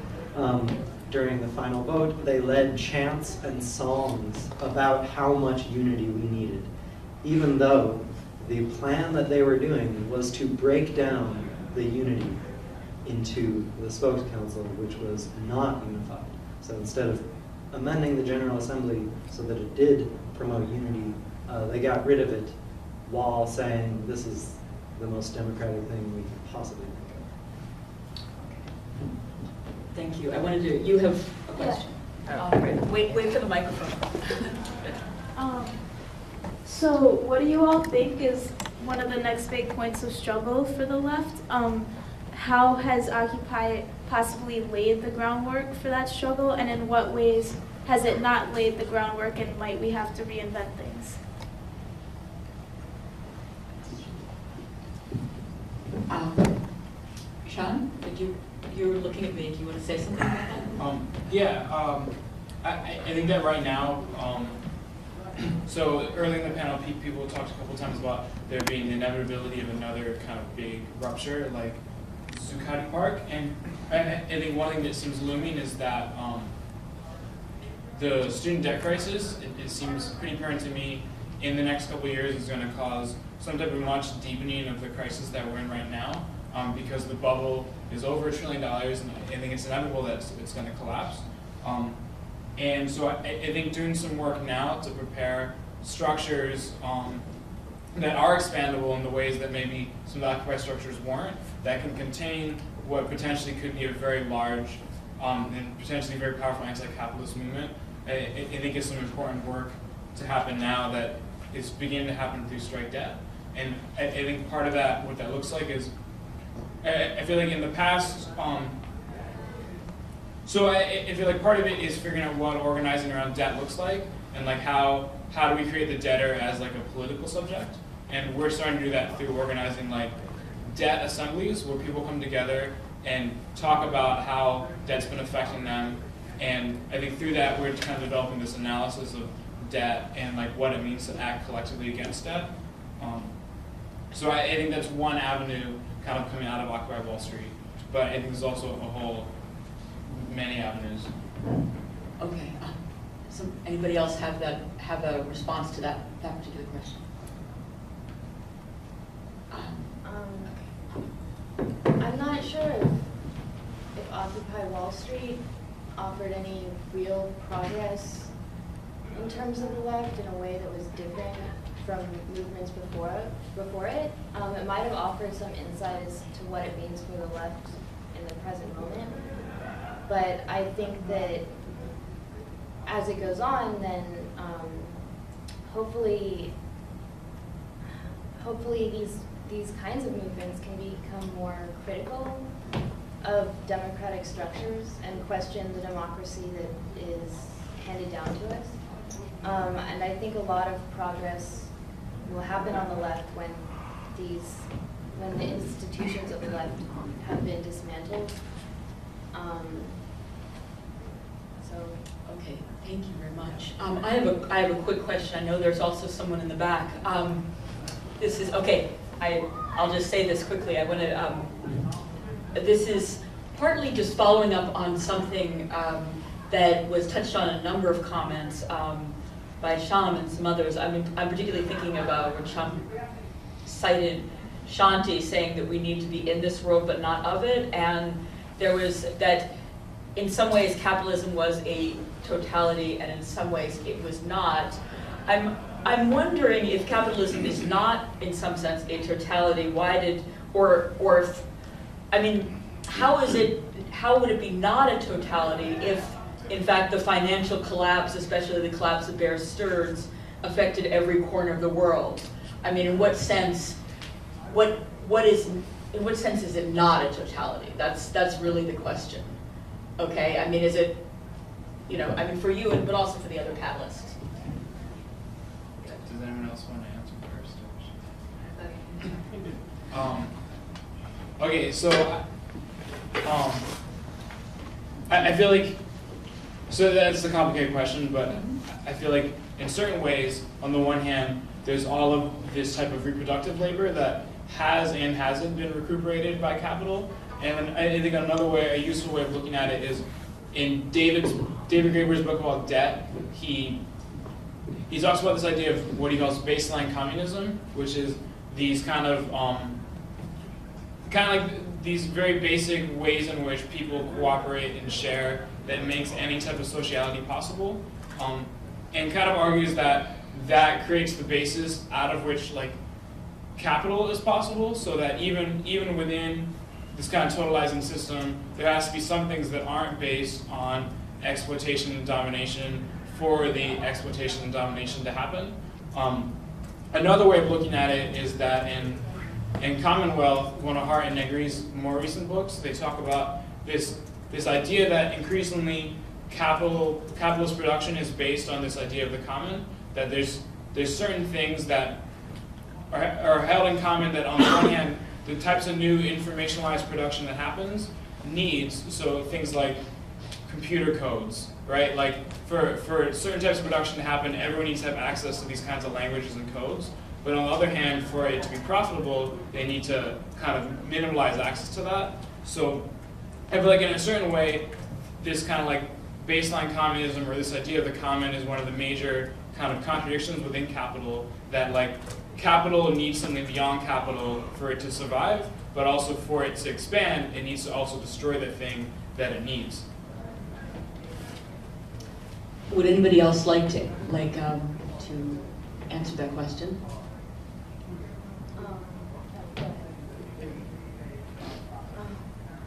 Um, I think capitalism is just a generalized social relationship, and that if we can have, if we can somehow come to a point where we have a different social organization, um, then capitalism, then that relationship will be different. Um, I think that these, that a change in these relationships could happen. It's, I think that there's the greatest possibility at, not necessarily at the level of the local, but at the level of the intimate.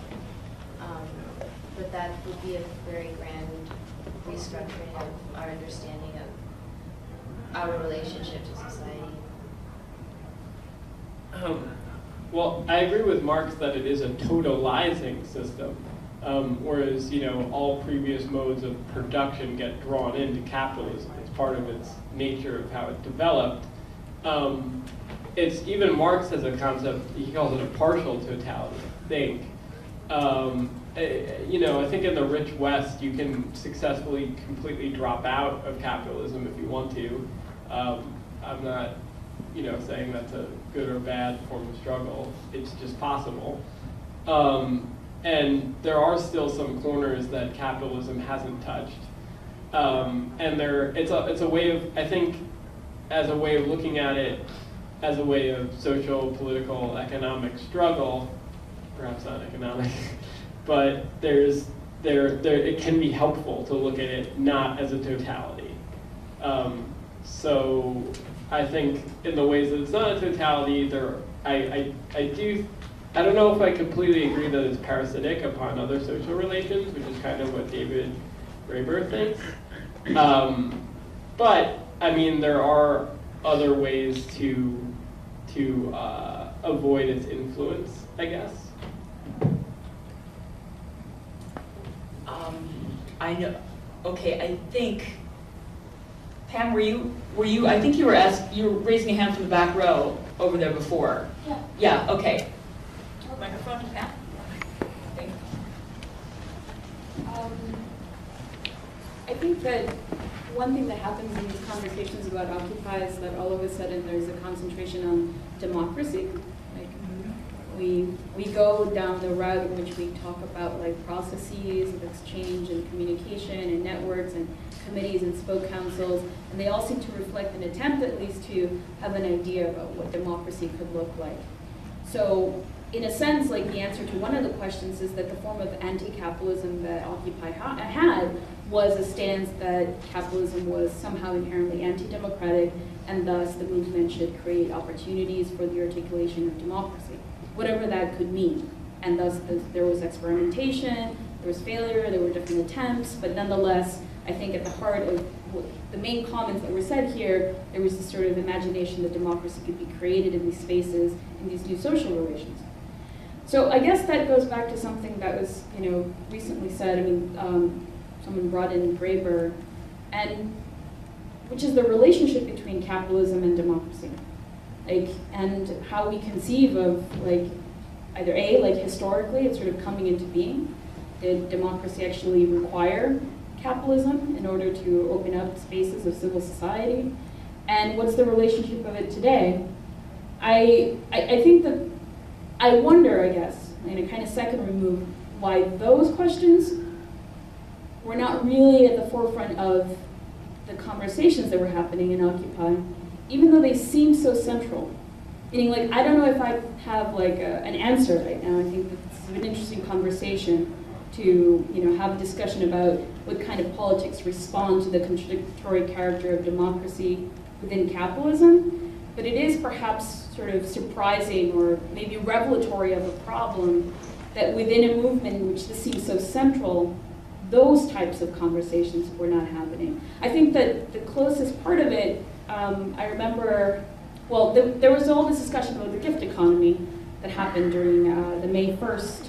Um, I, I remember the planning meetings and these kind of things.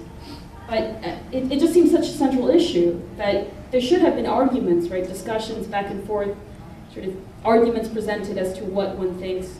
But there weren't really any. So I just wonder why it was missing.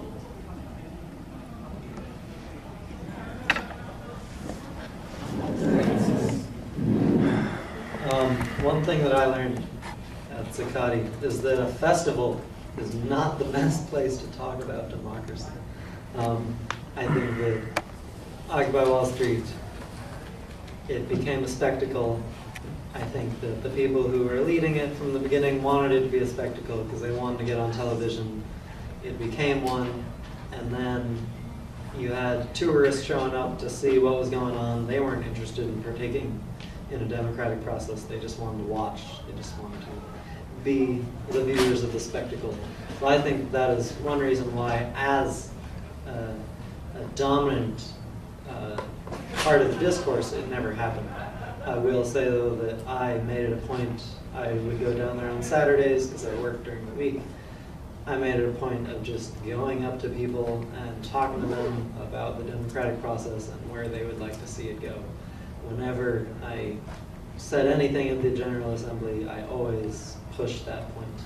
Um, however, after about a month, it became impossible to even speak at General Assemblies. You had to go to like three different meetings first and then get put on the agenda. Um, so the democratic nature of it uh, quickly got suppressed. Um, and I think that it's times like these where we are more apt to talk about democracy. In our everyday lives, we have to talk more about democracy. The festival atmosphere was not particularly conducive. Um, I think I'm gonna have to disagree with you in that it was a festival atmosphere. I mean, it was certainly a spectacle atmosphere, but um, the park and, and the movement from the very beginning was organized around around labor, around the same systems of production as in like an office environment, albeit a very a very horizontal one, but still, like you know, you had working groups. Um, affinity groups weren't given a lot of power, um, and it also found its form through um, through solutions. So that meant that long-term things like like having these conversations weren't as important as um, breaking it up, breaking um, breaking the goals of the movement into small tasks. And there also wasn't there were also time and space limitations. There literally wasn't a space for these conversations to be had, and they were being had, but there wasn't a space for them to enter um, to enter into the decision making. There, there just wasn't that structure. Um, I kind of want to echo what you just said in that um, my memories of the month of September were that actually that conversation was very present, but that um, there weren't as many people, and that that conversation didn't play into the structure that was being used for that smaller number. And then once once the park kind of exploded, that structure was held, and, and then those conversations were pushed to the background, and really what stayed um, in the forefront were the kind of infrastructural, how to keep moving, how to keep going, and anything that was kind of more long-term or conceptual was kind of relegated to like, have your conversation, you're a working group, but you probably won't be heard. Um, from what I do know about the domestic um, occupies and also the other global movements is that actually in their encampments and their um, movements, it actually is a much uh, bigger part of the conversation.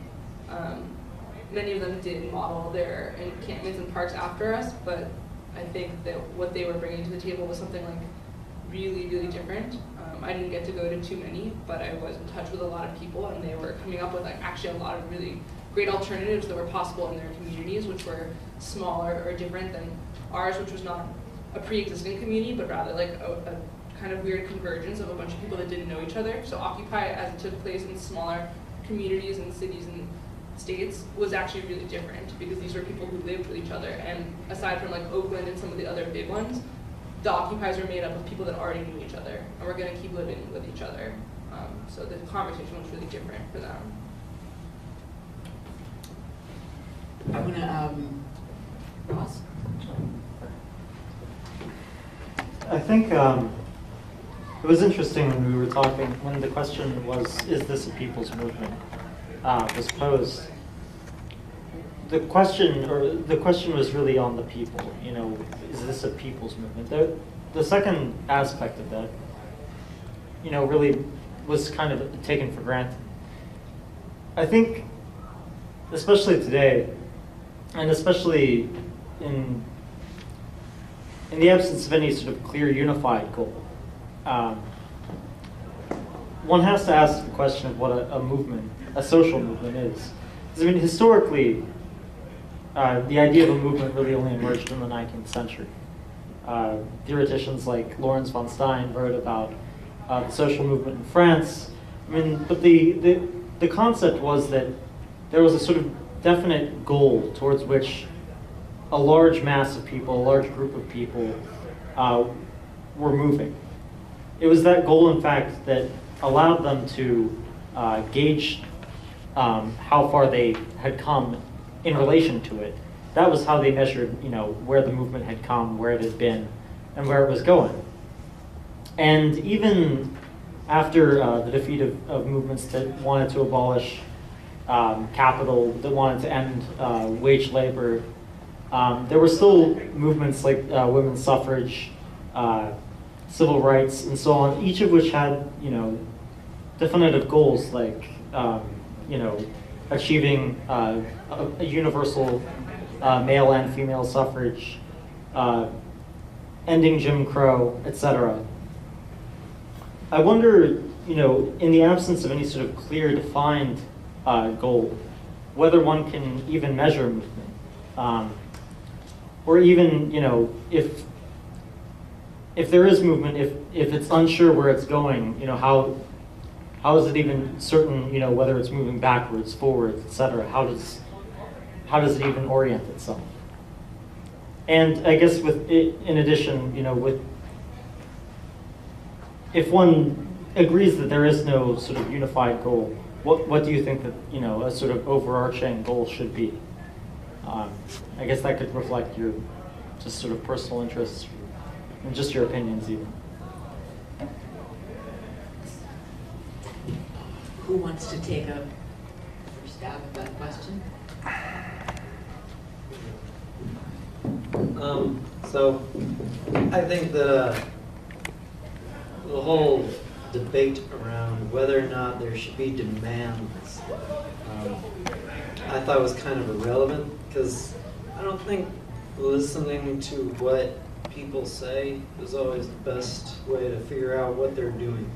Um, people at Occupy Wall Street said a lot of stuff, but the uh, truth is is that people were there because of the financial crisis. Every single financial crisis in the history of this country has resulted in a movement like this. Um, so people were there, and they were there for a reason. And once they got there, they all had a bunch of other secondary reasons that they wanted to put forward. Um, same way in Tahrir Square, I know somebody who was there for the entire revolution. He said that he's a journalist and he just went every single day and asked people what they're doing the hippies, the liberals, the Muslims. And everybody wanted Mubarak out. And it was very clear that that's what everybody wanted. And then he was like, hey, what do we do after this? And then everyone was like, oh, we need to set up our Muslim utopia or our liberal utopia or our hippie utopia. Um, but there was a very clear movement. And I think Occupy Wall Street's movement was very clear. Could I just ask a point of clarification? Because earlier you were saying, you did mention something, Fritz, about um, taking stuff over, which sounds to me a lot like, I mean, it seems like a useful distinction here would be between occupation versus actually seizing power in some way.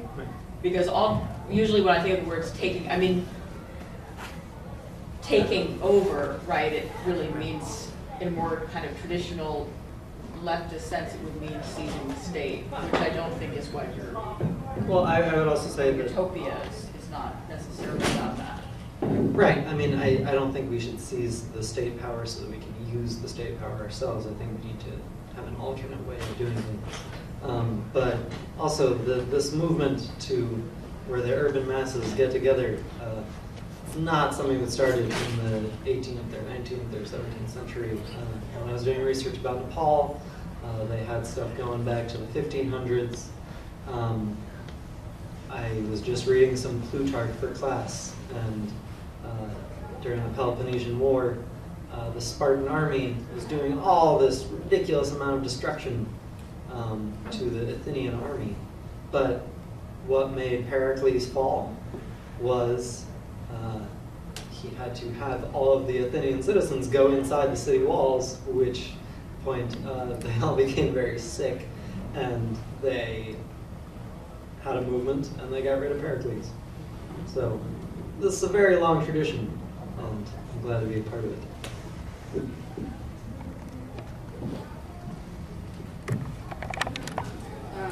I was reading a journal article recently, and there was a quote in it, and